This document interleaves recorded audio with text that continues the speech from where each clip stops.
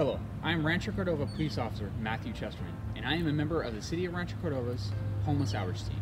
The Homeless Outreach Team is comprised of our Homeless Outreach Navigator, two RCPD officers, code enforcement, and two members who retrieve shopping carts and clean up encampments. Our team builds relationships with homeless individuals and families and provides services, education, and resources in partnership with local organizations to help them become self sufficient. Recently, our teams came together to support one homeless family in our community. I'm Gabriela Yost, the Homeless Outreach Navigator with Sacramento Self Help Housing. The mom called me and asked me for services to see what I can kind of do for them.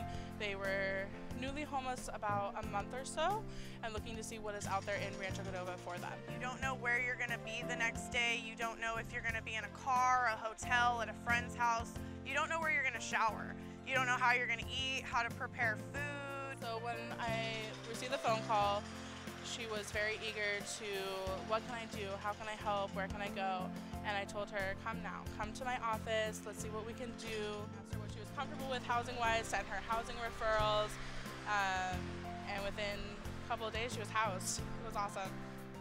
So one of the things I was able to help out with with this family is a deposit to get into the place. Literally within five minutes of talking to you guys, that I was helped. I was told to come in immediately. I had resources going.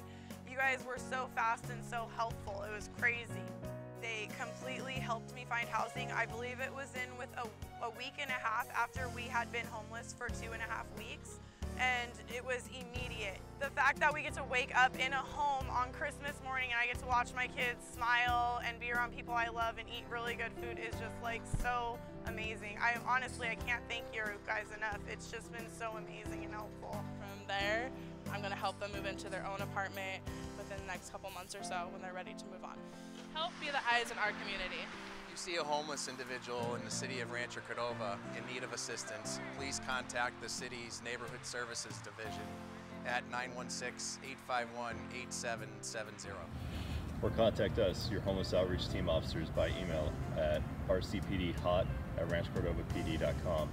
By working together, we can continue to make Rancho Cordova an inviting and safe place for all. Thank you.